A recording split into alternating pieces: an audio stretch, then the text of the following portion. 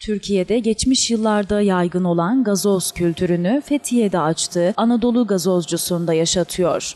Fethiye Dispanser Caddesi'nde hizmet veren Anadolu Gazozcusu pek çok aromadan üretilen 80 civarındaki nostaljik lezzeti müşterilerinin beğenisine sunuyor. Türkiye'nin farklı şehirlerinden temin edilen gazozlara daha çok nostalji yaşamak isteyenler ilgi gösteriyor.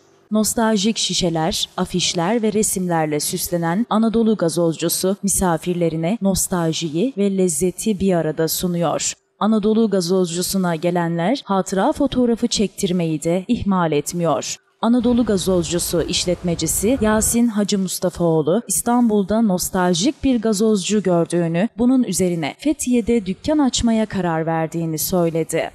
Ee, Şu anda Türkiye'nin bütün yöresel gazozlarını, 81 ilin yöresel gazozlarını tek tek temin edip getirtiyoruz.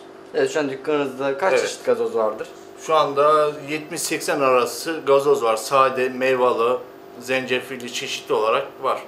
Evet bu işe nasıl başladınız? Ee, Ben de İstanbul'da bir yerden gördüm. Sonra in- internetten araştırdım Ee, ve e, hoşuma gitti. Çok değişik bir şey. Asitli içeceklere karşı güzel. Hepsi organik, meyveli olduğu için severek bu işi girdim. Fiyat tarifiniz nasıl? Bütün gazozlarımız 6 TL.